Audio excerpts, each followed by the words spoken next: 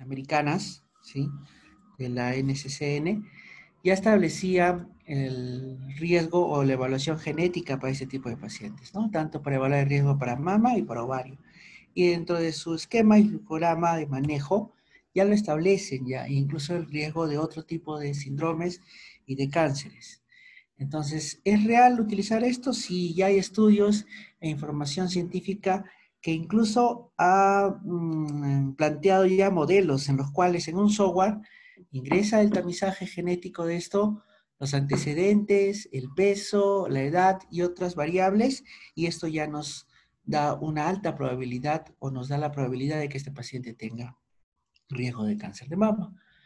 Existe diferente literatura americana y europea que sugiere que hacer un tamizaje genético es importante, por lo tanto, hay que tenerlo en consideración, hay que ver siempre esa posibilidad de que ha habido antecedentes de línea materna. Sabemos que nuestro medio no existe, pero eh, en Lima sí se está haciendo en algunas sedes y es importante conocer y poder ofrecer eh, la mejor alternativa de prevención a nuestros pacientes. Sabiendo esto, vamos a hablar un poco del, cuadro clínico. Entonces hay dos tipos de eh, escenarios que tenemos que ver, ¿no? Cuando la enfermedad todavía es inicial o temprana y cuando la enfermedad es, local pero ya ha avanzado la tumoración y probablemente está en estadio terminales. Entonces, al inicio, cuando es temprana, suele ser asintomático, suele presentar un nódulo mamario indoloro como primera manifestación. Y aquí es el momento donde nosotros tenemos que optimizar los métodos de tamizaje. Tenemos que eh, hacer el tamizaje común, que es con la mamografía, como veremos, y hay algunas características que hay que observar, pero aquellas que tienen alto riesgo, tenemos que ofrecerle otro tipo de tamizaje, que tal vez no esté en las guías, pero sí es importante establecerlas. Por eso les mencionaba que según estudios eh, americanos, la mamografía debe empezar incluso a partir de los 50 años. Pero nosotros hemos visto eh, casuística no solamente aquí en Ayacucho, sino en Lima, que hay pacientes con 38, 40 años que ya tienen cáncer de mama. Entonces hay que ver eh, la característica de cada paciente, hay que individualizar su riesgo y de acuerdo a esto ofrecer el mejor método. La cosa ya cambia cuando el cuadro clínico es de una enfermedad local avanzada, ¿no? Es un tumor de crecimiento progresivo a nivel mamario, o puede haber eh, axilares o tumoraciones axilares. Tiene toda la característica, obviamente, de malignidad, consistencia dura, superficie irregular, adherido a planos profundos, hay aumento de volumen en la mama, coloración de piel de naranja, hay retracción cutánea por lo que comentábamos de la atracción del ligamento suspensorio de Cooper, y lo característico es que haga telorrea hemática unilateral, ¿no? Entonces, eh, encontrar esto ya es muy sugestivo de un cuadro avanzado y por lo tanto no es lo ideal, ¿no? Porque aquí el pronóstico probablemente no va a ser bueno y solamente tengamos algunas alternativas de eh, quimioterapia paliativa, ¿no? Entonces, cuando veamos lesiones a nivel celular, veamos eh, retracción de pezón, tejido en coloración piel de naranja, vemos que hay aumento de volumen con signos inflamatorios o hay una telorrea espontánea bilateral, ojo. Ese paciente necesita una evaluación eh, inmediata. Obviamente, si ya tenemos todas estas características, estamos pensando en una lesión local avanzada y sería oportuno referirlo a un centro de mayor capacidad resolutiva. ¿no? Mientras no haya todavía todas estas eh, evidencias clínicas, se puede intentar con los estudios de tamizaje básicos, que son la mamografía a la cabeza. Obviamente está también el autoexamen de mamas y la exploración de mamas por el personal capacitado, pero no ha demostrado una gran eficacia de uno del otro, ¿no? La mamografía tiene gran ventaja que puede ver lesiones o características eh, imagenológicas eh, sugestivas de un, de un patrón neoplásico sin que exista una tumoración. Y en realidad eso es lo ideal porque como van a ver, Eh, cuando vemos una lesión ya de tamaño considerable, el estadio avanza y por lo tanto el pronóstico no es tan bueno. Entonces el diagnóstico es obviamente el examen clínico, como les mencioné, el autoexamen, eh, que es muy subjetivo, depende de cada paciente. ¿no? Se ha visto que hay una evidencia considerable con este método, aunque sí es importante en algunos lugares donde no llegan los servicios de salud. Y principalmente es el imagenológico, ¿no? Eh, el estudio de la mamografía nos va a permitir, según la escala BIRAS que vamos a comentar, eh, establecer el riesgo de benignidad o malignidad. Y obviamente una vez que hagamos esto, eh, tenemos que complementar muchas veces con ecografía y el diagnóstico definitivo nos lo va a dar la anatomía patológica a través de las biopsias respectivas que vamos a comentar, ¿no? Que pueden ser con guía ecográfica, con arpón o por estereotaxia pero siempre tiene que haber una eh, lesión que sea compatible con la imagenología y es la que nosotros debemos de tratar de eh, derivar el estudio justamente a esa, a esa lesión. Por eso que actualmente eh, hay la tendencia de hacer estas biopsias dirigidas por ecografía. Entonces, una vez que llegamos a hacer la biopsia, obviamente hay distintos tipos de biopsia, la biopsia con aguja fina, la biopsia con aguja gruesa o trucut, hay la biopsia incisional o excisional, la incisional cuando sacamos eh, una parte del tumor y la excisional cuando sacamos todo. Necesitamos tener algunos criterios eh, de protones microscópicos, ¿no?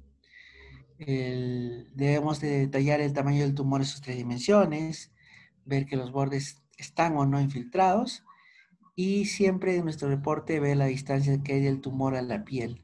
¿Por qué vamos a ver esto? Porque si ya la piel está comprometida, veremos en el estadio que el estadio es avanzado y las posibilidades de hacer un manejo quirúrgico óptimo son menores. Normalmente se hace quimioterapia eh, paliativa, ¿no? Salvo que se pueda hacer neoadyuvancia, como veremos más adelante. En relación a platones macroscópicos, eh, hay que ver el tipo histológico. Esto es importante porque de acuerdo a cada estirpe hay que definir la respuesta. El cáncer de mama es uno de los cánceres que, como ustedes comprenderán, incluso es uno de los más estudiados en, la parte de mastología. ¿sí? Es una, rama ah, de la cirugía oncológica en la cual ya determinan el estirpe histológico por inmunohistoquímica. Y hay algunas estirpes, por ejemplo, que responden bien a radio, a quimioterapia, otras responden bien a hormonoterapia, otras responden bien a terapia biológica. Por lo tanto, cuando hay un cáncer de mama, lo más importante es definir la estirpe.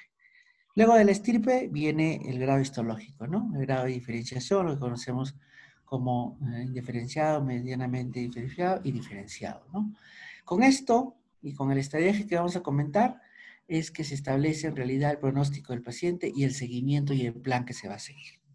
Hay que ver el tamaño tumoral, la permeación vascular y linfática, la inversión perineural y como les menciono, el, si hay infiltración a músculo y pezón, esto empeora mucho más el pronóstico y el estadio está muy avanzado. La disección ganglionar es vital, es el concepto más importante para establecer el estadiaje, como van a ver, Determinar qué ganglio está comprometido y de qué grupo axilar es, es vital para yo definir el estadio clínico de este paciente, como veremos en las imágenes. Entonces, dentro de las frecuencias de estos tipos histológicos de cáncer de mama, dentro de los invasores, el más frecuente es el cáncer ductal, ya mencionamos, en casi un 63%. Cuando hablemos de cáncer y si vemos de una ubicación en el cuadrante superexterno, lo más probable es que sea ductal. Y vemos que cuando es invasor, la supervivencia a los 5 años pues no es tan alta, ¿no? 79%. Eso eh, se debe a la estirpe histológica y por eso que de ahí la trascendencia de hacer un tamizaje precoz para un manejo oportuno y mejorar la sobrevida, ¿no? Cuando no es invasor, el más frecuente es el carcinoma intraductal y aquí ven que cuando no es invasor, la supervivencia es mejor, ¿no? Esto se diferencia en el sentido de que en el no invasor se respeta la membrana basal. Como mencioné, hay marcadores de inmunohistoquímica que son sustancias que permiten diferenciar qué estirpe histológica estamos evaluando y de acuerdo a esto someter a, otras terapias, no solamente a quimio radio, sino también a hormonoterapia y a terapia biológica en muchos casos. Esto obviamente ha mejorado en los años considerablemente y en lo que es los estudios de eh, estirpe histológica en anatomía patológica es la base del tratamiento cuando los pacientes eh, ya no están en estadio inicial, sino están en estadio avanzado 3 o 4 y no se le puede ofrecer de una manera óptima los manejos quirúrgicos. Aquí hay que ver si hay eh, receptores para estrógenos y progesteronas, si hay sobreexposición al gen ER2. Todo esto define que podamos o no eh, instalar la hormonoterapia y la terapia biológica en este tipo de pacientes. Y nos va a ayudar a definir cuál de estas estirpes tiene eh, o es más sensible a la radioterapia o es más sensible a la quimioterapia, para poder individualizar su manejo. Entonces hay diferentes sustancias, está la exposición al HER2, está el luminal A, el luminal B. Todas estas sustancias hacen algoritmos diagnósticos en los cuales con una serie de tinciones, por eso les mencionaba, en inmunohistoquímica, nos ayudan a determinar la estirpe histológica y nos ayudan a establecer el tratamiento más oportuno para este tipo de pacientes. Entonces, eh, ¿cuál es la diferencia de un carcinoma in situ con un carcinoma invasor? Que el carcinoma in situ respeta la membrana basal. Como ustedes pueden ver, este es un conducto normal, ¿sí? no hay alteraciones a niveles celulares, y este es un conducto anormal, ¿no? que hay células atípicas, dismórficas, pero que no atraviesan la membrana. ¿sí? Aquí de la misma manera, el carcinoma lobular, esto es lo normal, y aquí está lo normal, con una tipe celular marcada. Pero miren lo que pasa en un carcinoma ductal infiltrante. Las células atípicas atraviesan la membrana basal. Y esta condición de invasor obviamente altera el pronóstico y amerita que hagamos un estadiaje correcto. En el cáncer de mama, el estadiaje es quirúrgico. Ustedes recordarán que en cáncer, el único cáncer ginecológico que el estadiaje se hace clínico es el de cervix, a través del tacto vaginal y el tacto rectal. Todos los demás, como el cáncer de ovario, mama, útero, endometrio, es un estadiaje quirúrgico. ¿Qué quiere decir?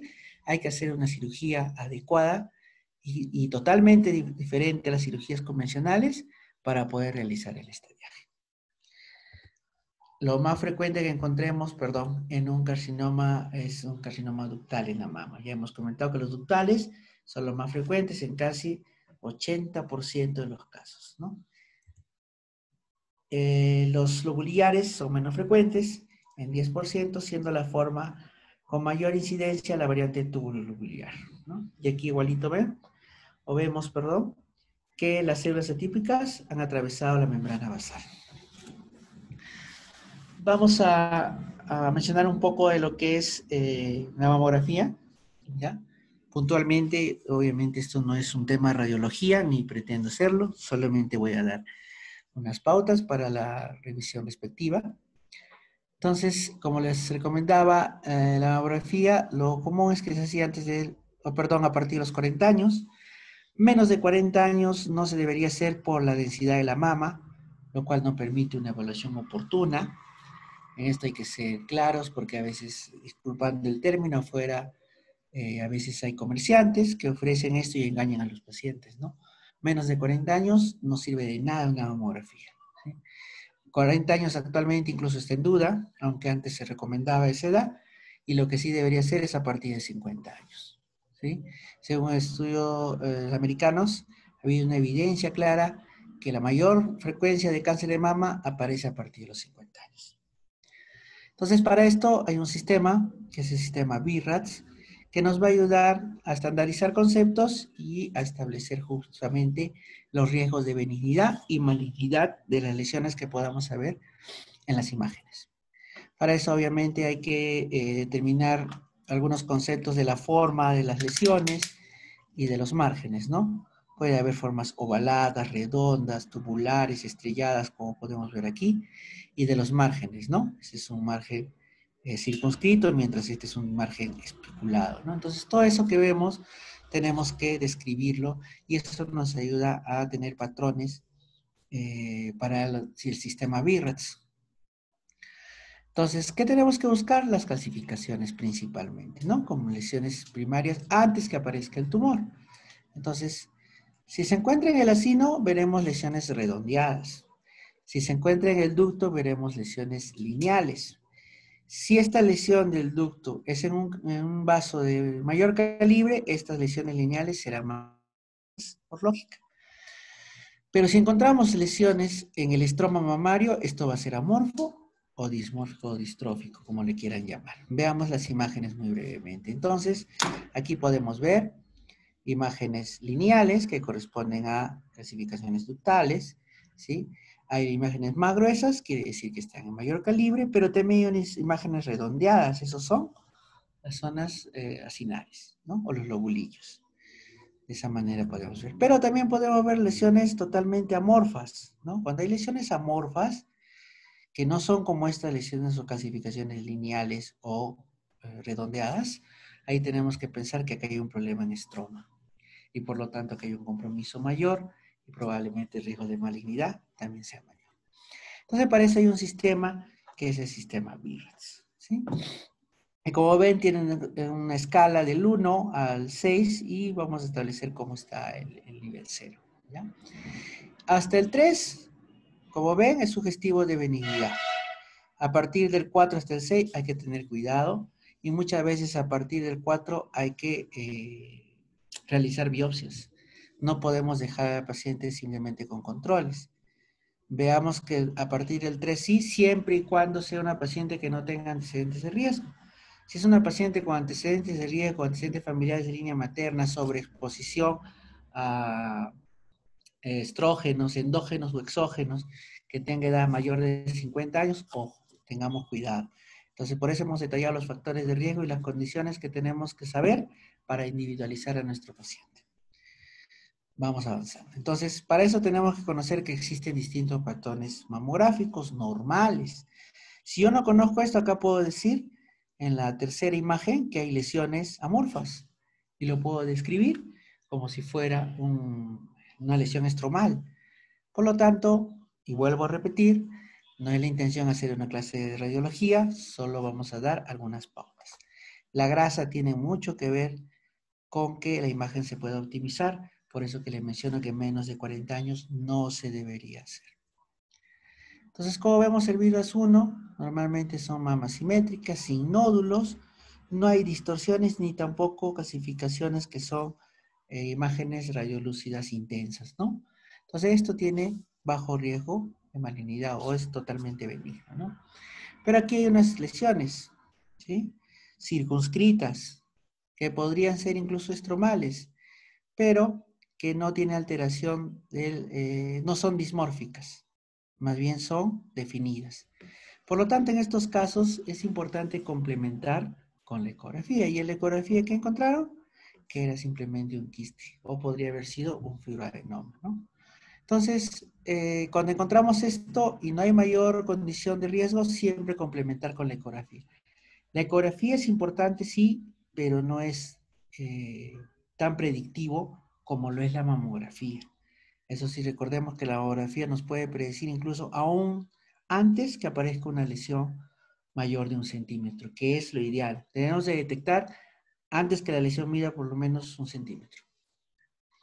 Aquí sí ya podemos observar una lesión sugestiva de bordes irregulares, pero circunscritos, ¿sí? Entonces esto necesita ecografía y ya no es tan benigno. Dependiendo de lo que encontremos en la ecografía, podemos someter a control en seis meses o si tiene una paciente de alto riesgo, hacerle los estudios de biopsia. Pero aquí ya cambia, ¿no? En este tipo se ve ya lesiones más amorfas, calcificaciones intensas, lineales y redondeadas, y aquí sí ya tiene un mayor riesgo de benignidad y por lo tanto amerita que se haga un estudio de biopsia. Existen diferentes tipos para esto. Vemos aquí una lesión más amorfa con bordes irregulares, espiculados, calcificaciones múltiples, que lo vemos en la ecografía como una lesión heterogénea e irregular que bota sombra acústica y obviamente no tiene buen pronóstico, ¿no? Aquí también vemos otras lesiones muy sugestivas de, eh, malignidad, tanto en la categoría de Vibra 5 como el 6, que aquí vemos una lesión totalmente estromal, irregular, amorfa, lo cual sugiere que hay un compromiso estromal y parenquimal del glándula mamaria. En la ecografía vemos una lesión totalmente irregular eh, en planos eh, profundos y seguramente si le ponemos el Doppler nos puede sugerir que hay eh, vascularización aumentada. Para finalizar esta parte de BIRATS, a veces hay lesiones que podemos ver toda esta alteración de la densidad y muchas veces esto se forma por eh, tejido fibroandular, ¿sí? O pacientes eh, que están con alteraciones de la prolactina y que su parénquima es muy heterogéneo por la misma característica que tienen en la ecografía también hay cambios del patrón glandular. Y cuando tenemos esto, lo que tenemos que hacer es realizar una ecografía. Muchas veces aparece este tipo de categoría y cuando hacemos la ecografía tenemos que reformular el BIRATS y normalmente es benigno, ¿no? Es muy difícil tener una lesión de este tamaño y de estas características y vemos una mama que clínicamente está bien. Entonces, eh, habiendo detallado todo esto, tenemos que eh, concluir en esta parte que la mamografía es el estudio más adecuado. Obviamente, este es el campo del radiólogo. Solamente me he permitido dar algunas pautas. Pero este es netamente de otra especialidad, ¿no? Pero es importante que conozcamos las características de las imágenes y siempre individualicemos a nuestro paciente. Permítanme entrar al tema de la estratificación. Creo que todavía estamos a tiempo. Eh, esto es importante y ya casi quisiera que se puedan llevar el, el concepto más vital. Hemos explicado uh, un poco de la anatomía, hemos visto cómo se hace el examen clínico, y eh, que tenemos que hacer un tamizaje precoz para hacer un diagnóstico oportuno y un manejo oportuno. Entonces, cuando nosotros ya hemos determinado que esta paciente, por estudio de anatomía patológica de una biopsia, tiene cáncer de mama, lo que necesita esta paciente es un estadiaje. Y el estadiaje del cáncer de mama es quirúrgico. El estudiaje de cáncer de mama no se hace en un hospital como el de nosotros, que es un hospital regional. Se hace mínimamente en un instituto o en un eh, centro de mayor capacidad resolutiva que cuente con cirujano oncólogo entrenado en esto o en su defecto un mastólogo, que sería lo ideal. ¿Para qué nos va a servir el estadiaje? Para tomar las mejores decisiones terapéuticas. Y para esto hay que conocer los ganglios linfáticos que vamos a, realizar en la cirugía, cuáles se han comprometido, qué grupos ganglionares se han comprometido, los que están cerca de la axila, los que están cerca del externo, los que están debajo de la clavícula, encima de la clavícula, etcétera, etcétera, etcétera. Esos detalles son eh, cruciales para el manejo y el pronóstico de cada paciente. La estadificación que les voy a traer a cotación es la estadificación FIGO, que si bien la van a ver un poco compleja y no es la intención que la memoricen, solamente que la entendamos, este, hay otra clasificación TNM que es mucho más compleja. Pero, este, como sé que ustedes eh, son muy, muy emprendedores y, y, muy pacientes en sus conceptos y en sus manejos, yo sé que va a salir algún cirujano oncólogo entonces es importante que ya se vaya relacionando con estos temas y que se inspire para poder hacer esa especialidad. ¿Sí? Mientras más joven, mejor. Entonces, hablemos de los niveles ganglionares. Ya habíamos mencionado el nivel ganglionar 1, 2, 3, separado por el músculo pectoral menor. ¿sí? También hay eh, niveles ganglionares en el esternón y también en el hueco axilar. En una parte del estadiaje también vamos a ver grupos supraclaviculares e infraclaviculares. Entonces, todo eso tenemos que conocer para ver el estadio. La intención del estadio, eh, obviamente, no es asustarles, tampoco me lo he memorizado, pero sí entender la importancia de conocer los grupos ganglionares. Por eso que en una cirugía, que alguna vez habrán escuchado una mastectomía radical, no solamente es sacar la mama, sino es sacar de manera ordenada todos los grupos ganglionares según la ubicación para después hacer el estadio correspondiente. Veamos. Entonces, el estadio 1 normalmente está confinado al tumor, muy pocas células ganglionales se alteran. En ese estadio 2 sí comienzan a alterarse células glandulares y el tumor comienza a aumentar. En el estadio 3, obviamente, el tumor es más grande y ya la cantidad de grupos ganglionales y de ganglios están comprometidos. Y en el 4 ya hay, aparte de que puede haber o no un tumor grande, ya los ganglios están comprometidos y acá hay metástasis. Eso es en forma global. Vamos a hacer una pequeña revisión de esto. Entonces, en el estadio 1 hay dos, ¿no? Brevemente, no, no, no, no es la intención que lo memoricen, obviamente. El estadio 1A y el estadio 1B. El estadio 1A, ¿cómo es? Cuando el tumor mide 2 centímetros o menos. ¿sí?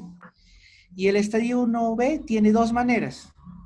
Uno es cuando el tumor mide menos de 2 centímetros y el otro es cuando no hay tumor, pero ya un ganglio está comprometido. ¿Sí? Entonces aquí, sin que haya un tumor, pero ya encuentran un ganglio y este es sospechoso de que haya un cáncer o ya tienen una biopsia en aguja fina que es un cáncer, ese es un estadio 1B. ¿Sí? 1A solamente es cuando hay tumor, no habla nada de grupos axilares. Sigamos. El 2A, obviamente hay 2A y 2B. Veamos el 2A. Aquí habla que ya tiene que haber hasta tres ganglios comprometidos en la región de la axila. No habla nada de tumor. El otro escenario es que tienen que haber esos tres ganglios y también tiene que haber un tumor menor de 2 centímetros, como en el caso anterior. Y el último escenario no habla nada de los grupos axilares, pero ¿qué dice? Esto puede ser entre 2 y 5 centímetros. Entonces, vean qué tan importante es establecer el tamaño del tumor y la ubicación de los grupos ganglionares. Por eso que tenemos que conocer su anatomía. El 2B, ¿qué dice? Tumor mayor de 2 centímetros, pero no mayor de 5, pero ya hay compromiso de las células cancerosas en los ganglios. ¿sí? Otro escenario en el 2B es que haya un tumor de 2 a 5 centímetros, pero que ya se comprometa uno o tres grupos ganglionares, o ganglios, perdón. ¿Sí? Comprometidos. Acá solamente son células cancerosas. Y el último escenario del 2B es que haya un tumor que sea más de 5 centímetros. ¿Sí? Sigamos. Como les digo, la intención es memorizarlo porque hasta aquí ya me olvidé. Pero de lo que sí tenemos que recordar que es vital el tamaño y es vital el grupo ganglionar. Como ustedes ven, dependiendo del grupo ganglionar, se va a establecer el estadio. Hasta el estadio 2 se puede intentar manejo quirúrgico. A partir del 3 y 4 ya no, solamente es tratamiento paliativo, radio y quimio. El estadio 3, el estadio 3 tiene tres subdivisiones, A, B y C. Veamos, el A puede o no puede haber tumor, pero lo que sí va a haber es 4 a 9 ganglios linfáticos en la axila que están comprometidos. En el otro solo había de 1 a 3. Otro escenario es que tiene que haber un tumor mayor de 5 centímetros y solamente células cancerosas en los ganglios. Mientras, el otro escenario es que tiene que ser mayor de 5 centímetros y que haya cáncer en uno a tres ganglios linfáticos en la axila o cerca al externo. El 3B, ¿cómo es? En el 3B, miren, ni se ve el tumor, pero lo que sí se ve, compromiso en piel. Entonces, a veces no se puede palpar porque hay mucha reacción inflamatoria, pero si hay un compromiso en piel, hay piel de naranja, hay retracción de pezón, porque ustedes saben que esto va a traccionar el ligamento suspensorio, hay aumento del volumen de la mama, esto ya nos orientaría a un 3B. ¿Sí?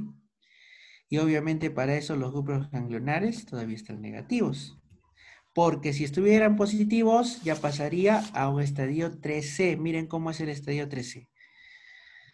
Hay ganglios en la axila y hay ganglios infraclaviculares. Ese es un escenario. Otro escenario es que hay ganglios supraclaviculares. ¿Sí? El tumor puede ser de distintos tamaños, pero acá ya tienen que encontrar 10 o más ganglios. Y el otro escenario es que haya ganglios en el esternón y en la axila.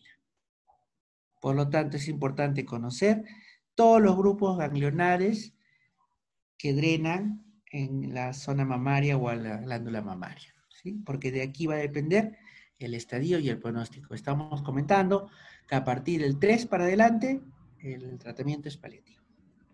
Y el estadio 4 ya es cuando hay metástasis, ya hay diseminación o invasión vascular y linfática, y va a haber eh, invasión hacia el cerebro, pulmones e hígado, y por lo tanto aquí ya se tiene que hacer este, rastreo con imagenología más avanzada, resonancia o tomografía, dependiendo del caso y de la condición.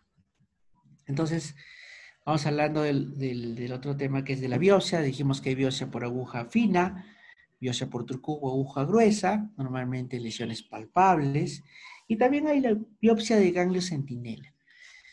¿Qué quiere decir? Que todos estos grupos ganglionares se ha estudiado que existe uno de los ganglios que inicia la invasión. Entonces, si nosotros estudiamos de esos grupos el ganglio centinela y vemos que está libre, podemos concluir que todo el grupo está libre de cáncer.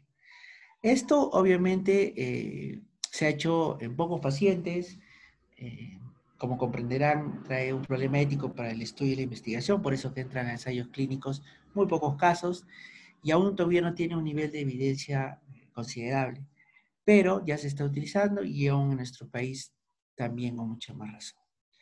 Entonces, eh, ¿en qué condiciones específicamente, como ustedes pueden ver aquí?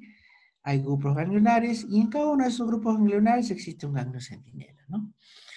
¿En qué condición? Principalmente aquellos tratamientos en estadios iniciales, ¿no? No lo hacen cuando es un estadio avanzado, ni siquiera eh, cerca de un 2, porque puede traer riesgo de que alguno de esos ganglios pueda generar eh, cáncer residual o recurrencia en muchos casos, ¿no? Entonces, normalmente lo hacen en estadios iniciales en aquellos tumores que miden menos de 3 centímetros. ¿Por qué hemos tanto hablado de los ganglios y el compromiso y la afectación que esto pueden tener? Porque de acuerdo a la cantidad de ganglios, el pronóstico del paciente disminuye. Veamos, la supervivencia a 5 años sin que haya metástasis ganglionar es muy buena, 87%, realizando una mastectomía radical. Si hay un solo ganglio, aumenta a, perdón, aumenta a 75. Si tiene 1 a 3 ganglios a 65 y si tiene 4 más, 34. Quiere decir que más ganglios comprometidos o con cáncer, menor supervivencia de los pacientes. ¿sí?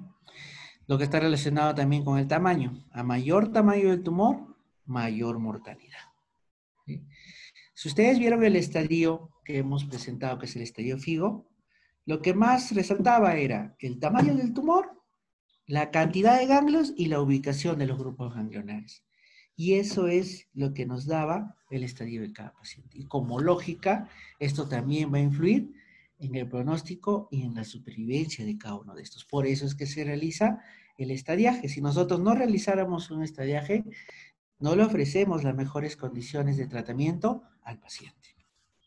Es importante conocer el grado histológico, ya mencioné a través de los conceptos de inmunohistoquímica, porque a través de esto vamos a ver si se le puede ofrecer otro tipo de tratamiento, no necesariamente el quirúrgico, sino también la radioterapia, quimioterapia y la eh, y terapia biológica, ¿no? Entonces, hay factores pronósticos y preventivos. Ya sabemos que el factor pronóstico principal es la evaluación de los ganglios. Por eso que en la mayoría de los casos se realiza la mastectomía con linfadenectomía siempre, ¿no?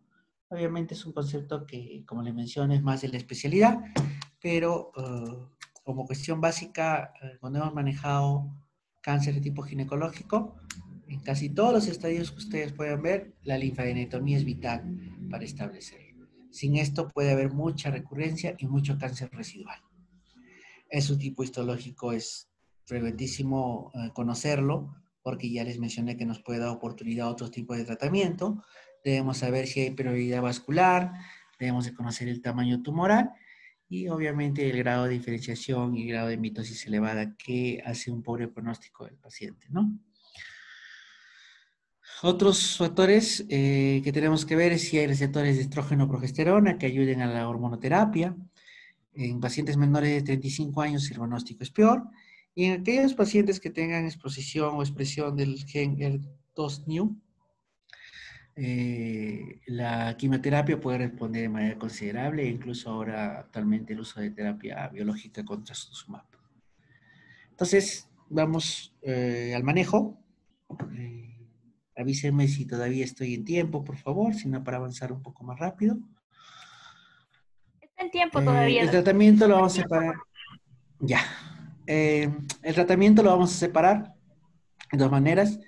Permítanme enfocarme más en la enfermedad temprana, porque en realidad la enfermedad tardía es más un, manejo paliativo. Las conductas de quimioterapia y radioterapia obviamente son totalmente distintas y manejo netamente de especialidad y van cambiando constantemente en base a, a, los nuevos estudios y a las nuevas evaluaciones que se hacen, ¿no? Entonces vamos a enfocarnos más en la enfermedad temprana, podemos ofrecer esto en el estadio clínico 1 y el 2, ¿sí? Recuerden que ahí el tamaño del tumor no pasa de 5 centímetros y las invasiones ganglionares eh, son escasas o solamente uno a tres ganglios de acuerdo a, los grupos axilares que puedan presentarse, ¿no? Hay lesión en piel, que eso ya es en el 3, ni tampoco hay invasión a otros órganos, ¿no? Entonces, ¿qué podemos ofrecer en la enfermedad temprana del estadio 1 y 2? podemos ofrecer lo que se llama la resección conservadora o la cirugía conservadora, radioterapia, y en algunos casos que amerite se puede dar quimio, como veremos, pero siempre y cuando haya demostrado que la estirpe histológica que estamos tratando es sensible a la quimioterapia. La radioterapia eh, es en la mama y también hay que ver en la región supraclavicular y axilar. Esta puede ser en sesiones o puede ser directamente al tumor con lo que se conoce como braquiterapia, ¿no? que ha habido eh, mejor respuesta en estos últimos años. Entonces, eh, lo que corresponde a la cirugía radical o la mastectomía que estábamos comentando, consiste en extraer toda la mama, eh, no se olviden de la cola de la mama, y realizar la disección de todos los grupos ganglionares, ¿no? Para hacer un estadiaje adecuado y ofrecer la mejor oportunidad de manejo al paciente. Pero esto tiene, eh, o se hace la mastectomía radical cuando hay contraindicaciones absolutas de terapia conservadora, porque terapia conservadora son cirugías menos agresivas, pero que pueden traer problemas. Entonces, cuando no se debe hacer terapia conservadora y se debe pasar directamente a mastectomía radical, cuando ya ha habido una radioterapia previa en la mama afectada, por esos pacientes definitivamente ya no se puede hacer cirugía conservadora, deben pasar directamente a mastectomía radical. En pacientes embarazadas, en caso de pacientes embarazadas, en realidad el manejo que le dan a los oncólogos, cuando hay gestantes embarazadas, muy poco les, les, este, vale la, la, opción que la paciente esté embarazada. Si tienen que usar quimio, si tienen que usar radio, lo usan. ¿sí? Ahí netamente se enfocan en tratar el cáncer. Por eso que si es un cáncer inicial, algunos recomiendan incluso que pueda terminar la gestación y después tratarse. Pero si ya es un cáncer avanzado, priorizan al cáncer de mama porque incluso en la gestación puede disminuir el sistema inmunológico y dispararse más rápidamente todos estos mecanismos. Entonces, en esos casos, definitivamente no hay terapia conservadora. De frente se hace mastectomía radical. En los tumores que están en cuadrantes distintos en la mama, esos no son tributarios para cirugía conservadora. Se hace de frente mastectomía. Cuando vemos calcificaciones sospechosas de malignidad en más de un cuadrante, algo muy similar, la imagen de la, de la mamografía. Y cuando ya hemos hecho una cirugía previa y los márgenes quirúrgicos siguen siendo positivos o sigue habiendo cáncer. Esos pacientes no pueden ser nuevamente sometidos a cirugía conservadora, tiene que realizarse mastectomía radical. Toda la mama más linfadenectomía regional axilar e incluso para externar. Entonces, estas son las, las imágenes que podemos ver. Se empieza con cirugías muy eh, mínimamente invasivas, como la lumpectomía, prácticamente sacar el tumor con un margen muy pequeño. Hay que hacer una incisión amplia en la cual se trata de que se hagan bordes libres y una alternativa es la cuadranatectomía, ¿no? Si bien la cirugía conservadora actualmente eh, es bastante manejada, mayormente se acompaña de lo que es quimio y radio. Y esto se establece en base a estirpe. Si hay estirpes que responden a la quimioterapia o son quimiosensibles, como es el término, se inicia la quimio y posteriormente se le opera, ¿no? Y se ha visto buenos resultados, ¿ya? Pero en aquellas que no puedan eh, tener una sensibilidad para el tratamiento de la quimio y la radioterapia, debemos hacer cirugías mucho más agresivas, ¿no? Como la mastectomía y especialmente la mastectomía radical, en la cual ya hay disección de los grupos axilares o linfadenectomía regional. ¿En qué casos eh, podemos ofrecer radioterapia? ¿no? En aquellos casos que tienen bajo riesgo de recaída, como les menciono, es importante los estudios de inmunohistoquímica para poder determinar cuál cáncer es menos o más sensible a la radioterapia, pacientes de mayores de 40 años, y en aquellos especialmente donde los, el estadiaje que hemos hecho ha salido ganglios axilares negativos, ¿no? Especialmente en los niveles 1 y 2, ¿no? Incluso el ganglio centinela también está sin metástasis. Entonces, en ellos es indicación de hacerle eh, el tratamiento con radioterapia, ¿no?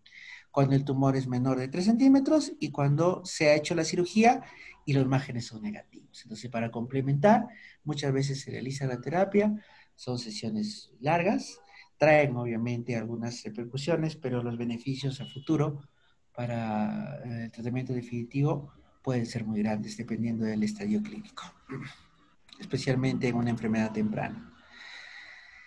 El tratamiento quirúrgico radical es, como les menciono, la mastectomía radical. Se cinde el tejido mamario, se saca el complejo areola pezón, ¿sí? Porque recuerden que si está cerca a la piel, ya estaríamos en un estadio 3 y por lo tanto no deberíamos hacer cirugía.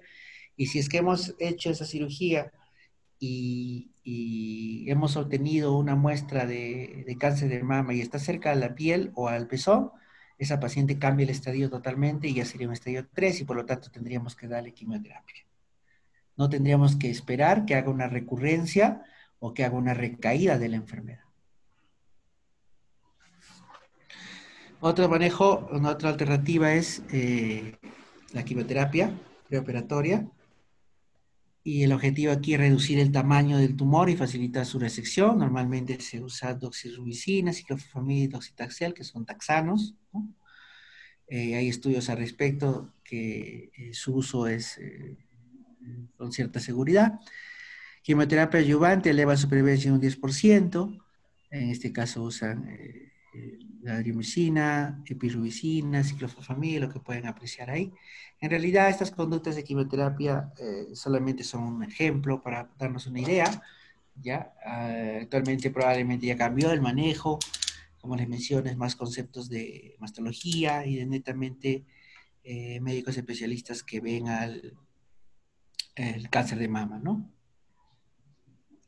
Y en algunos casos puede durar la terapia hormonal, como les mencionaba, con el tamoxifeno, con el anastrozol, ¿sí? Y eh, algunos en terapia biológica.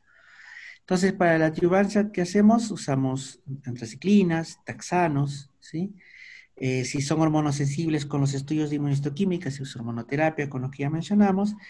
Y algunos pacientes que son sensibles a los genes SER2 positivo, se les eh, da tratamiento con terapia biológica, ¿no? Trastuzumab y quimioterapia. Entonces, ¿qué es la neoadyuvancia? La neoadyuvancia, especialmente la quimioterapia neoadyuvante, es cuando tenemos un tumor eh, que por sus dimensiones no debería someterse a cirugía. Pero lo que hacemos es darle quimioterapia, porque sabemos que este tumor es sensible a la quimioterapia, ¿Y qué pasa? En un tiempo reduce sus dimensiones y por lo tanto ya se vuelve tributario de cirugía. ¿Cuándo está indicado esto? En tumores locales, localmente avanzados inflamatorios y en el caso que el tumor tenga más de 3 centímetros y que no sea candidato a cirugía conservadora. Como comprenderán, eh, esto no está en muchas guías y estos casos lo que pasa es que los, los, este, tratan de llevar a, formar parte de ensayos clínicos, ¿no? Esto obviamente viene con toda la repercusión de la cuestión ética de este tipo de, de investigaciones y por lo tanto es importante que si existen estos casos debemos ponerlos en evidencia para eh, sacar información en beneficio de los pacientes con cáncer de mama en futuros manejos, ¿no? En el tiempo. Entonces, el tratamiento con ayuvanza, como le mencioné, es con anticiclinas y taxanos, se debe administrar 6 a 8 ciclos, ya lo del trastuzumab comentamos. Esto ha cambiado considerablemente en el tiempo, como comprenderán, esto es desde los años 70, 80, pero la respuesta era eh, muy pobre. Estaban el tamoxifeno, por ejemplo, aquellos que tenían, este, eran sensibles a hormonas, tenían receptores de estrógenos, progesteronas. Eh, posteriormente se pasó a las antriciquinas, los taxanos como inhibidores de la aromatasa. Posteriormente el trastuzumab y eh, lo que pueden apreciar en verde son medicamentos más actuales de terapia biológica, incluso ahora habrán aparecido otros que aún están en estudio y que dependiendo de las condiciones de la inmunohistoquímica y de la sensibilidad o no de cada estirpe histológica al tratamiento, se ha visto que puede tratar de individualizarse cada caso y ir sacando protocolos de manejo de acuerdo a las respuestas terapéuticas que podamos encontrar.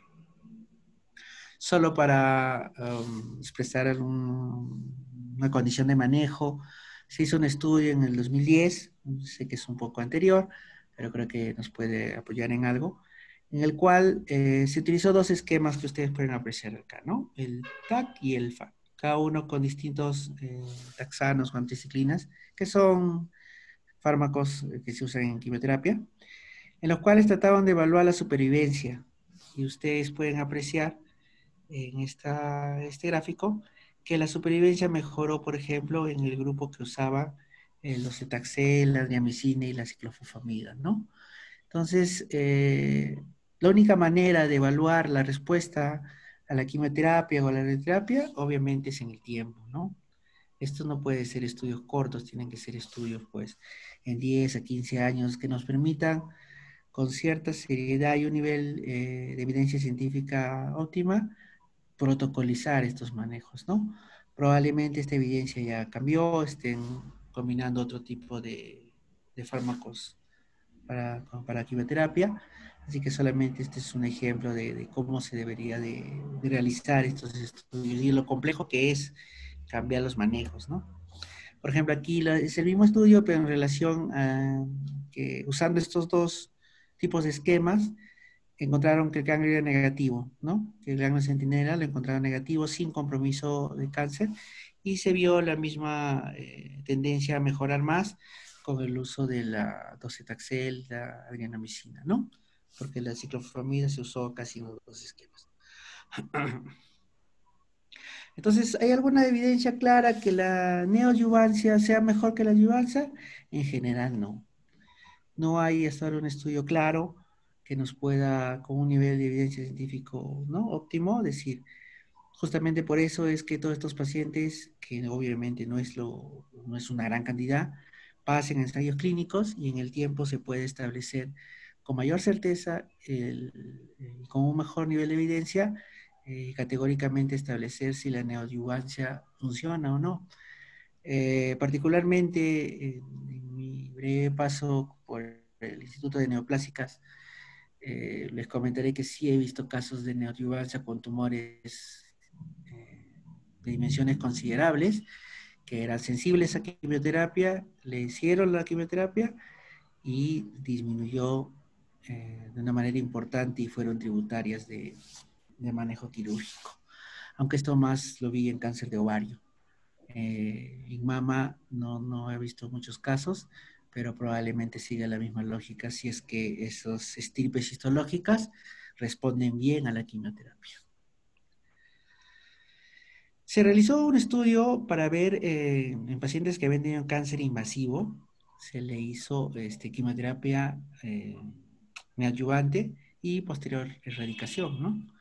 Y lo que se vio en relación a, lo que es la, eh, la supervivencia, perdón, que entre los dos no había casi una diferencia, ¿no? Estos son, si ustedes ven aquí, estos son los pacientes que respondieron a la erradicación del tumor y los que están de línea azul son los que aún tienen un cáncer residual y los que están en línea negra son los que ya no tienen ningún cáncer residual.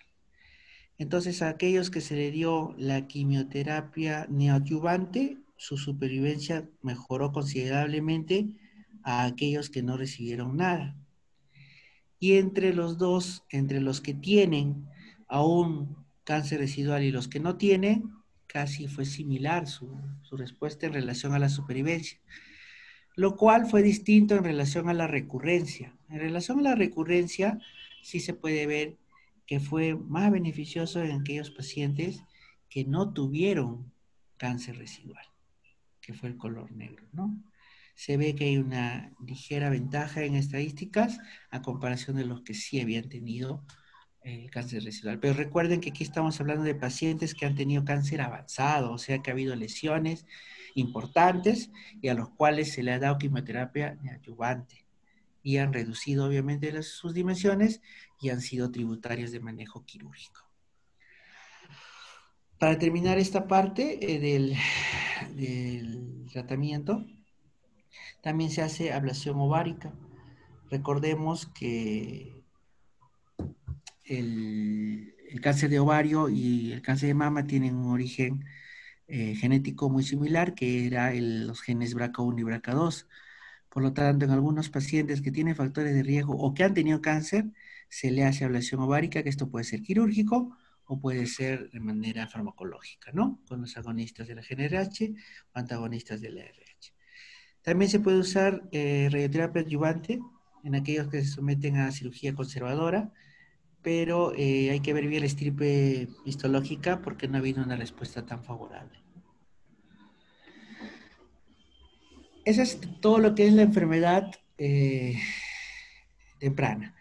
Lo que es la enfermedad avanzada, como ustedes ya han visto en el estadio, son obviamente tumores más grandes, mayores de 5 centímetros, con un gran compromiso ganglionar eh, multifocal en varios grupos axilares, y incluso eh, hay lesión en piel o en areola, lo cual eh, sabemos que compromete mucho más. Y en el estadio 4, pues ya hay metástasis, ¿no? Que puede haber repercusiones clínicas a nivel eh, cerebral, hepática y pulmonar, ¿no? Entonces, este ya es otro tipo de manejo, como comentábamos, es un manejo más de especialidad. Me imagino que está cambiando mucho en el tiempo, no hay muchas cosas claras, más que todo es eh, paliativo para darle calidad de vida, ¿sí? En el Perú, de todos los casos que vemos, el 10% es enfermedad metastásica, ¿sí? Y el 75% tiene recurrencia sistémica, o sea, vuelve a dar el mismo cáncer. Eh, en este caso se hace radioterapia de cáncer local y después de la quimio, muy pocas oportunidades, dependiendo de qué, cómo sea el tumor, se puede pensar en hacer resección, ¿no? pero ya es más para ofrecer calidad de vida más que una posibilidad de cura, como sí podría ser en el estadio 1 y en el estadio 2, ¿no? De supervivencia o que estén libres de enfermedad. Y la quimioterapia es netamente paliativa, ¿no? Aquí hay un, conflicto incluso ético, ¿no? En que a veces esta quimioterapia paliativa ha estado en, contradicciones, eh, no hay mucha respuesta favorable en estadios avanzados. Recordemos que ya hay metástasis a distancia y la poliquimioterapia obviamente trae secuencias y secuelas en, en las pacientes y esto no va a disminuir la posibilidad de que vaya a tener enfermedad residual y obviamente altere considerablemente su calidad de vida, ¿no? Entonces, en estos pacientes sí eh, es importante definir que no, nada está escrito y que lo que se trata de hacer es simplemente eh, ofrecerle la mejor calidad de vida. A veces hacen algún tipo de cirugía eh, más que para tratamiento, más para ofrecer calidad de vida porque la lesión es muy grande. pero no hay nada escrito en las guías ni, ni recomendado. Eso es lo que les quería traer la acotación de este tema. Yo sé que es un tema muy largo. Espero que no se hayan dormido. y estaré dispuesta a las preguntas que hayan, por favor. Muchas gracias, doctor. Si hay algunas preguntas, doctor, se las voy a leer. Un ratito, por favor. Desde, mm, aquí. Doctor, fue una excelente ponencia. Mi pregunta es de Magali. En hospitales, ¿en qué, en qué hospitales hacen Mm, bueno, no se entiende tu pregunta. De Dersi. Excelente, excelente ponencia, doctor. Muchas gracias. Las pacientes con mastopatía fibroquística, al tener mayor densidad mamaria, podrían aumentar los falsos positivos de hallazgos anormales eh, al realizarse una mamografía. ¿Se debería retrasar en este caso la toma de mamografía y realizarse solo ecografía periódica hasta los 50 años? A ver. En los casos de mastopatía fibroquística, eh, vamos a poner, a ver, el escenario es en 50 años, ¿cierto? Sí, doctor. Ya. En realidad, que una paciente de 50 años tenga mastopatía fibroquística eh, y que no la podamos tratar es difícil, ¿no? Lo ideal, si es que no es una paciente de riesgo y no es una paciente que tenga una lesión evidente, lo ideal sería primero tratarla por lo menos un par de meses, si es que no hay ninguna condición, y de ahí recién ofrecerle la, mamografía.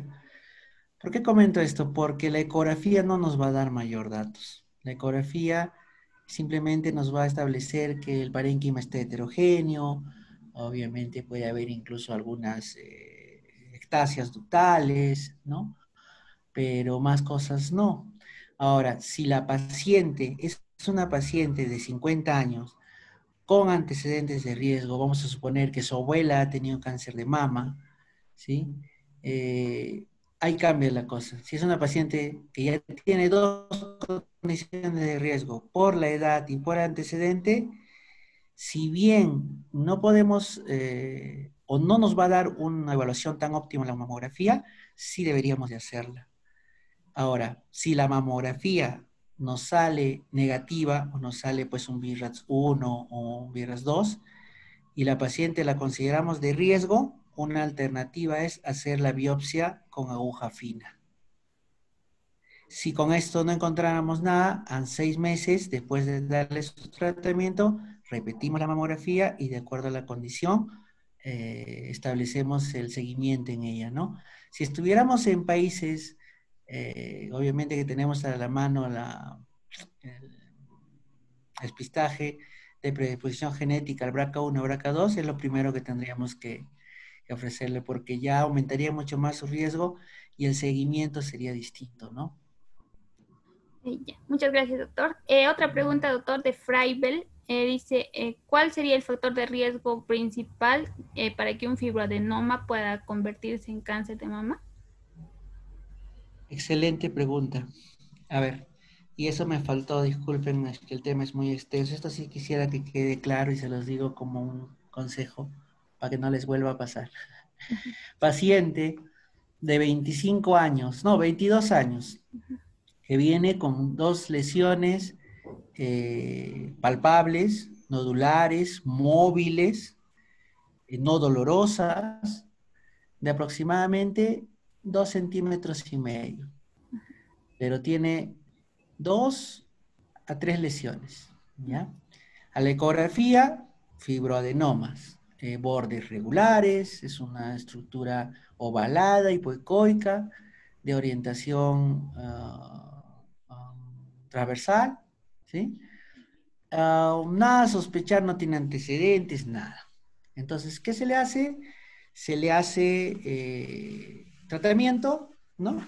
Y no responde, entonces regresa al mes y ¿qué le decimos? Que tiene que hacerse cirugía, ¿no? Para extraerse el exéresis del fibroadenoma.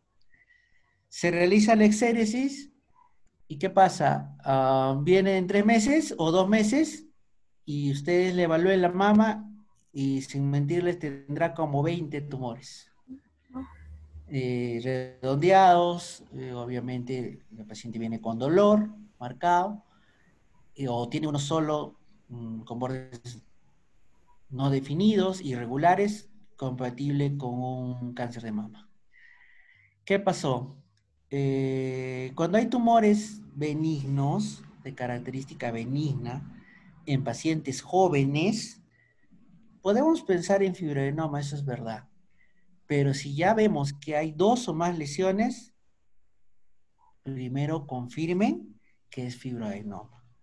Porque esta paciente que les estoy comentando no era un fibroadenoma, era un tumor filoides. Si ustedes revisan la literatura, el tumor filoides tiene la característica de volverse o comportarse como un tumor maligno. Es un tumor borderline. Entonces, si nosotros tenemos una lesión que parece benigna y es única, bueno, podemos ofrecerle la cirugía con cierta seguridad. Pero si nosotros tenemos dos o más lesiones, lo primero que deberíamos hacer es una biopsia. Si la biopsia no dice que es fibroadenoma, lo sacamos.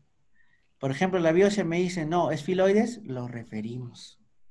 No deberíamos de hacer ese tipo de cirugías en un hospital donde no hay oncólogo. Muchas gracias, doctor. Otra pregunta, doctor, de Frank Alfaro. Doctor, gracias por la ponencia. Mi pregunta es, ¿cuándo o en qué casos se debería realizar la mastectomía bilateral? Allá. Justamente eh, eso está en relación al estadio. Como les comentaba, si bien hay tendencia para hacer la cirugía conservadora, ¿sí? Hay que ver mucho si la respuesta este, es buena de la quimio o la radioterapia, o sea, si el tumor es radiosensible o quimiosensible. Por ejemplo, si estamos en un estadio 2, 2, 2A, que todavía puede ser tributaria de cirugía o está en el límite, y vemos que ese tumor no es radiosensible y no es quimiosensible, y nosotros le vamos a ofrecer la mastectomía radical solamente de una mama, ahí podemos nosotros eh, exponer al paciente a que por invasión linfática ese cáncer se vuelva una recurrencia en el lado contralateral. Entonces, en los casos en los cuales sabemos que ya no le podemos ofrecer radioterapia, no le podemos hacer quimioterapia agregada a la cirugía, mejor debemos hacer la mastectomía del lado contralateral. A esto tiene que ver también, como les mencioné, el grado de diferenciación histológica. Si tenemos una estirpe histológica que es radiosensible, quimiosensible, que es bien diferenciado, hagámosle la mastectomía eh, solamente unilateral la linfadenectomía y esperemos. Pero si nosotros tenemos una estirpe histológica que no es radiosensible, no es eh, quimiosensible, eh, el grado de diferenciación es altamente indiferenciado, podemos estar exponiendo a la paciente a que haga una recurrencia en la mama contralateral. Ahora, recordemos también el concepto básico al inicio. Si tenemos una lesión en el cuadrante interno tiene una gran posibilidad de invasión a la mama contralateral. Entonces, en esos casos hay que individualizar al paciente, hay que ver la edad. Si bien, como les menciono, ha mejorado o la tendencia es a ser más conservador, no por eso podemos dejar de individualizar a cada caso y determinar su estirpe y grado de diferenciación histológica. Gracias, doctor. Otra pregunta, doctor, de Carolina Villagaray. Buenas tardes, doctor. Gracias por la ponencia. Mi pregunta es, ¿la mastitis crónica es un factor de riesgo para cáncer de mama? Qué buena pregunta. La mastitis crónica, y eso también me olvidé, ya ves, es que el tema es muy extenso. Cuando nosotros tenemos una mastitis crónica, y, esto ya es cuando obviamente ha habido ya una mastitis aguda previa y se ha vuelto a presentar en el, en el tiempo después de seis meses, nuestro flujo o algoritmo de diagnóstico cambia totalmente. Cuando tenemos una mastitis crónica, tenemos que establecer la posibilidad de que pueda ser una mastitis granulomatosa, una mastitis por tuberculosis, una mastitis idiopática o una mastitis por neoplasia. Entonces, lo correcto es primero descartar la mastitis crónica propia, ¿no? Infecciosa. Para esto se hace cultivo de gérmenes atípicos. Lo correcto es hacer una biopsia y buscar las lesiones para tuberculosis, si las hay o no. Y obviamente las lesiones para neoplasia, ¿sí? Si con todo esto no encontramos nada, podemos considerar simplemente que es una mastitis crónica y seguir el tratamiento para esto. Pero si dentro de la mastitis crónica, en el algoritmo que estamos utilizando, en la biopsia, nos sale que es una neoplasia, tenemos que deducir que la neoplasia ha sido el origen de la infección y que simplemente esto nos ha avisado o ha sido un mecanismo del mismo cuerpo, ¿no? Pero de que por sí la mastitis crónica sea un factor de riesgo para neoplasia, no. La mastitis crónica es infección no es netamente un problema neoplásico. Que en el algoritmo como diagnóstico diferencial tenemos que buscarlo, es verdad, pero no está relacionado directamente ni se considera un factor de riesgo. Los factores de riesgo que hemos establecido, como ustedes recordarán, es la edad, la sobreexposición a estrógenos, sea endógeno o sea estrógeno, eh, perdón, exógeno, y este, el carácter hereditario y familiar de esta condición. Muchas gracias, doctor. Otra pregunta de Evi Yamil. Doctor, buenas tardes y gracias por la ponencia. ¿Qué opciones anticonceptivas existen en caso de mujeres con riesgo de cáncer de mama? Ya, esta pregunta es con truco. a ver. Eh, a ver, con riesgo, ¿a qué se refiere exactamente? Eh, a ver, voy a poner una, una paciente, ¿no? Vamos a poner que es una paciente que tiene 40 años, o 35 años, perdón, y que nunca ha tenido hijos, ¿ya? Este, y que su mamá encima ha tenido cáncer de mama. Esa paciente no debe tomar métodos hormonales, bajo ningún punto de vista. ¿Qué, alternativa le puedes ofrecer? Puedes ofrecerle el LIU, ¿sí? o las, este, los métodos de barrera. Podría intentar incluso la ampolla, aunque no es recomendable porque de todas maneras tiene una carga hormonal, pero definitivamente las píldoras ya no debería tomar. Ahora, imaginemos una paciente de 20 años que no tiene antecedentes y que, mm, o que tiene un antecedente de su mamá, pero que eh, no tiene mayor condición de riesgo, y le quieres ofrecer una alternativa eh, como método anticonceptivo, se le puede ofrecer la píldora. No es que no, no se le pueda dar, pero la píldora no debe ser más de tres años. ¿Cuándo aumenta el riesgo de la exposición exógena? Cuando esto se da más de tres a cinco años. Cuando nosotros damos más tiempo y esta paciente en el tiempo que está o que sigue no se embaraza, hay mayor sobreexposición a la condición del cáncer de mama. Pero de que sea una contraindicación absoluta, no, no. El problema de los métodos anticonceptivos es más que todo el uso. Por ejemplo, hay pacientes que han usado la píldora 15 años. Y hay pacientes, ¿ah? eh, y nunca la han suspendido. Esas pacientes tienen una alta probabilidad de exposición de riesgo de cáncer de mama y ovario. Pero si lo usan adecuadamente, no, al contrario. Y si tienen hijos y todo, no, no tendrían mayor. Lo que sí eh, queda claro que el hecho de tener hijos a temprana edad lo protege y el hecho de dar lactancia materna por periodos prolongados, a veces más de dos años, también sirven como factor protector. Muchas gracias, doctor. Hay más preguntas todavía. Eh, doctor eh, de Centeno, eh, doctor, otra duda. ¿Cómo se realizaría el manejo en pacientes usuarias de implantes mamarios? ¿Estos influyen en el desarrollo de alguna neoplasia mamaria? Ya, lo que es implantes mamarios, obviamente va a dificultar la evaluación ecográfica y la evaluación este, radiológica por la mamografía, ¿no? Eh, la densidad que tienen obviamente no, no favorece al estudio de estos eh, este, imagenológico, Por lo tanto, los pacientes que son portadoras de implante, si están en una edad de riesgo, de preferencia no deberían usarlo o en el peor de los casos sacarse, ¿no? Porque no vamos a poder hacer un estudio óptimo, porque recuerden que es un material extraño que comprime estructuras vecinas y si ustedes eh, recordarán el concepto de la mamografía es compresión para hacer un mejor, una mejor evaluación. Por lo tanto, con estos implantes y dependiendo del tamaño, es muy probable que no tengamos una buena sensibilidad diagnóstica y no se recomendaría en pacientes de riesgo y edades mayores de 40 años que tengan estas, estas este, condiciones, ¿no? Gracias, doctor. Otra pregunta, doctor de Ruth. Eh, dice, eh, muchas gracias, doctor, por la ponencia.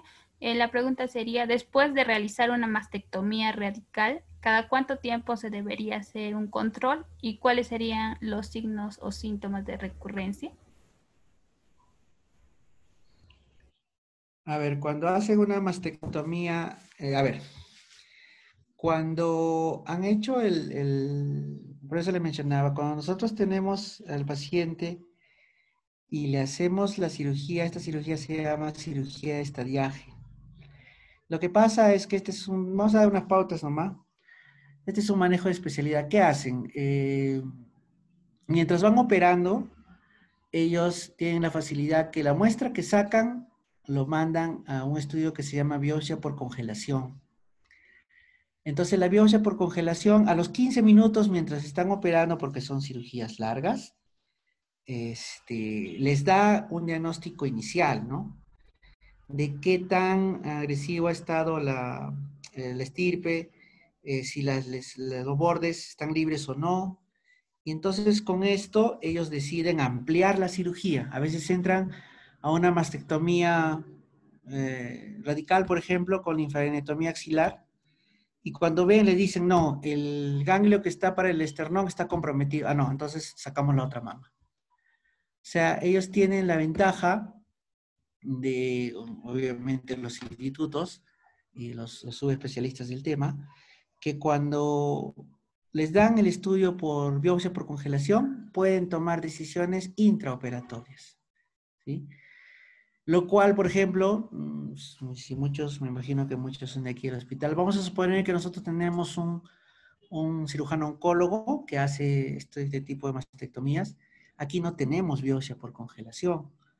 Por lo tanto, si él ya se decidió hacer una mastectomía, ahí queda, ya no puede hacer más.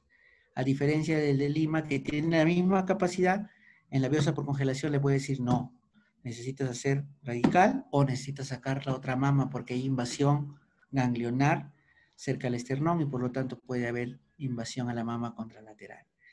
Entonces, las cirugías definitivas, o perdón, el estallaje definitivo es una vez que termina la operación y que el patólogo revisa todas las muestras de todos los ganglios.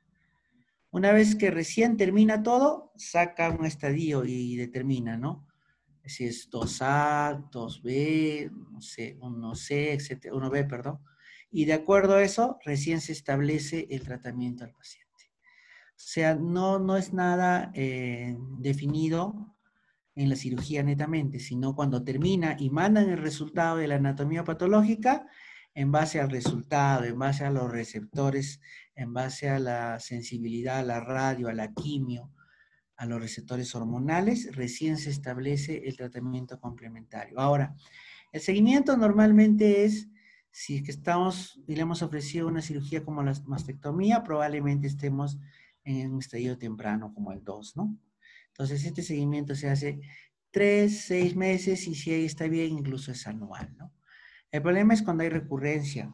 Cuando hay recurrencia, ahí, ahí viene el, el detalle, porque esto quiere decir que el cáncer eh, ha vuelto a aparecer en el mismo lugar. Entonces ahí es que cambia la condición y ahí se individualiza ya cada paciente. Entonces lo óptimo es que no haya recurrencias. Las recurrencias normalmente traen como consecuencia las radios y las quimioterapias en ciclos obviamente largos pero que es la única manera de poder eh, ofrecer la mejor oportunidad a la paciente, ¿no? Gracias, doctor. Las dos, Linda, un favor, dos preguntitas más porque si no ya... las dos Ya. últimas, doctor. Eh, eh, pregunta si, a ver, ¿cuáles, qué recomendaciones deberían darse a una mujer, supongo, con cáncer de mama que desea quedar embarazada? Con cáncer de mama, que ya está diagnosticada, me imagino. Ya. Eh, como les comenté en una parte de la exposición, el manejo de cáncer de mama en gestantes es de la siguiente manera, ¿no? Cuando está en el primer trimestre, le hacen cirugía y le hacen radioterapia. Eh, esto de la radioterapia es un poco controversial, pero como les dije, desde el punto de vista de los oncólogos, a ellos no les interesa que hay bebé. Igual le hacen la radioterapia. En el segundo trimestre sí está más recomendado la cirugía y la radio. Y en el tercero es eh, la quimioterapia y la cirugía. Ahora, si una paciente tiene cáncer de mama, lo ideal primero es que se trate su cáncer de mama y después que se embarace. Recordemos que eh, la gestación eh, es un estado en el cual la inmunidad obviamente disminuye. Y si a esto le agregamos el cáncer, donde es una respuesta inflamatoria importante y hay una sobreposición de reacciones inflamatorias este, que son sometidas a los procesos de quimioterapia, va a haber una posibilidad de eh, complicación y de mortalidad en la paciente gestante. Por lo tanto, y obviamente con mal pronóstico del bebé. Por lo tanto, lo ideal sería que si una paciente eh, tiene cáncer de mama, todavía no debería embarazarse, primero debería hacerse el tratamiento respectivo y después de eso recién plantear la posibilidad, ¿no? Porque recordemos que la radioterapia y la quimio pues trae repercusiones importantes en el producto. Y la última, doctor, eh, preguntan nuestros compañeros, ¿cuál, ¿cuáles serían los lugares más frecuentes de metástasis, doctor? Allá, los más los frecuentes es ya en el estadio 4A, como hemos visto en las imágenes, es en pulmón, cerebro y, e hígado. Eh, también, aunque en menor condición, este puede ser a los huesos, ¿no? Por eso que cuando se hace el, el seguimiento a estos pacientes, este, prácticamente le hacen un rastreo global a través de resonancia, ¿no? Eh, muchos de ellos eh, ameritan otro tipo como la, la, tomografía con positrones, otros exámenes como la gamografía, pero que en realidad más que todo, como les comentaba, en un paciente ya estadio 4, son más estudios paliativos, ya, ya no hay mucha posibilidad de, de curación en, como en la mayoría de los cánceres, ¿no? Pero esas son las, las localizaciones más frecuentes. Muchísimas gracias, doctor Ramiro, por su grandiosa exposición. Gracias porque siempre usted está predispuesto a compartir sus conocimientos con todos nosotros. Muchísimas gracias, doctor. Gracias más bien a ustedes y será hasta otra oportunidad. Muchas gracias, gracias. doctor. Hasta luego.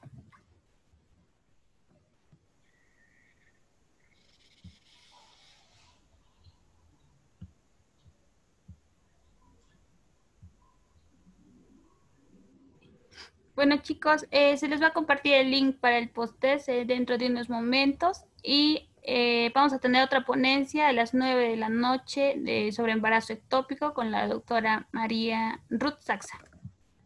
Gracias.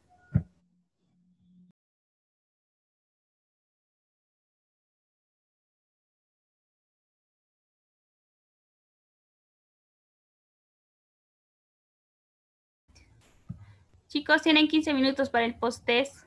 No se olviden. Gracias.